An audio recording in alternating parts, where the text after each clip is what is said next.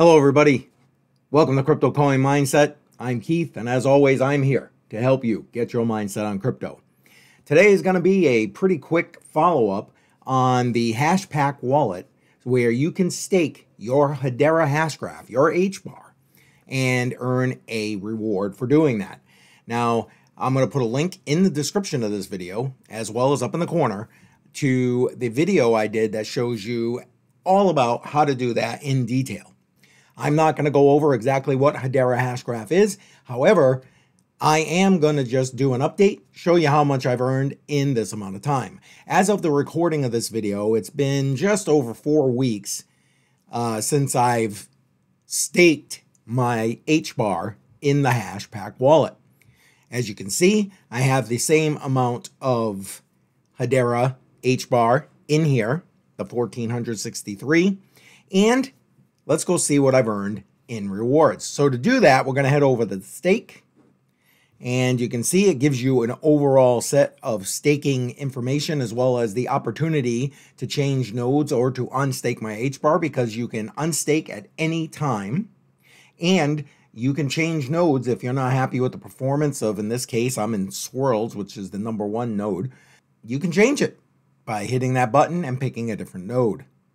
All right, so it's telling me um, my next reward period is 10 hours from now. I have some pending rewards in that 10 hour span, so 0.376, etc., coming uh, for that period. And so far, I have 0.9660165 H bar that I've earned, and you can see reward history right here. That's pretty good. Now, in order to collect the rewards, you literally don't have to do anything. You'll collect the rewards automatically anytime you uh, deposit, swap, sell, whatever it is you need to do in the Hashpack wallet. However, uh, there is a collect rewards here, so we're going to hit that and see about collecting our rewards. So let's do that. It says collecting. And boom, successful. Collected 0.3761 Ah, I see. So the pending rewards to collect are were not the total rewards earned. That's what I can now collect. Obviously, it takes a couple of epochs here. So uh, now my total here is up a little bit, as you can see, right there, and uh, continue staking. So again, this is just a follow-up on how to stake your H bar and earn some reward.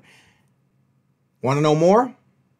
Again, link to my original video showing you how to do it step by step is in the description below. And I'll put it up in the corner here as well. It will also be the end screen, so head on over here, check it out, and I'll see you there.